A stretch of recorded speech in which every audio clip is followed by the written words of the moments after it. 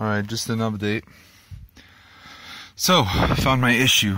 So, four sunroof drains. One, two, and then two in the front. One there, and then one on the other side. I, I thought it was this this uh, valve. The green, this green valve connects to this one that's right here. Okay, the the hole for the drain is right here. That valve goes to the um, wheel well down there and it shoots out all the water. Now, it's not this it's not this drain because I cleaned this drain with my metal floss. Not my metal floss. I cleaned it with floss. Um, with the yeah, metal floss. Um, I cleaned it. It was clear.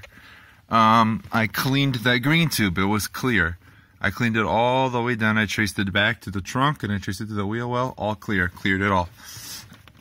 And it drains. It does drain. The only problem is this this screw right here, this screw right here, it leaks water, and so does the compartment right here that's connected to this metal rod right here. All the way, this spot right here, right in between. Yeah, I can get a better angle actually. Get out of the car. Will I survive the exiting of my Cadillac?